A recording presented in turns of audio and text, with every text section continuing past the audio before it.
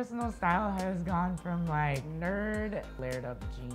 My family didn't grow up the richest, so you wore pants that could fit you for multiple years. To go from that to wearing some of the high-end clothes that I wear now and some of them being given to me for free, it's been a real crazy evolution of blessings.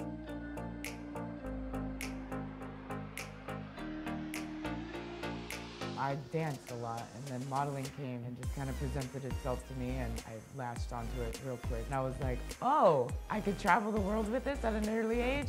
Bye guys! Kept it in my life since I was 12. I strongly suggest models to take like just an expression class, whether it be like dancing, whatever it is, like something to get you out of your element. It teaches you how to move.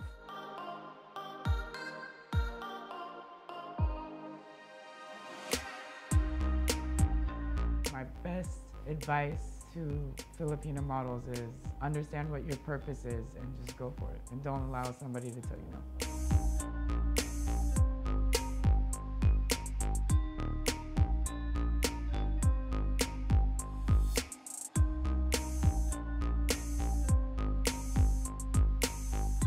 I'm working with the Department of Tourism. Yeah, I want to get to where I'm going in life and build the people that brought me there and continue to give back to my community. And it makes me kind of emotional because we put so much time and effort into this. And I've tried to come here to the Philippines so many times and it just never worked. And now it's like working, so it's like you finally know that it's aligning. And it, it makes me a little emotional because it's a really big journey for me. And I want to like, there's a lot of people hurting out there here, this country, and it makes me really sad to know that there's a lot of people with a high status and they don't even really care to give back to their community.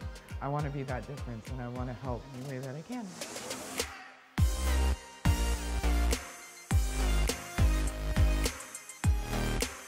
I came to the Philippines to find myself, to touch base with like my ancestors and to understand who I really am. Because without you guys, I wouldn't be who I am.